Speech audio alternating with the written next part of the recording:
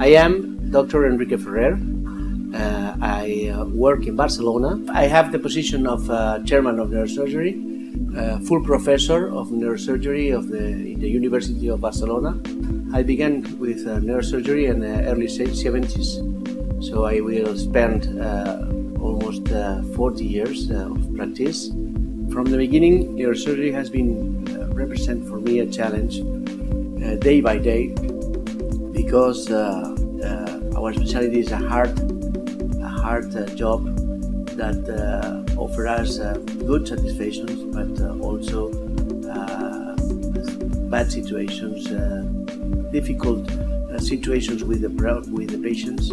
I try to to be a neurosurgeon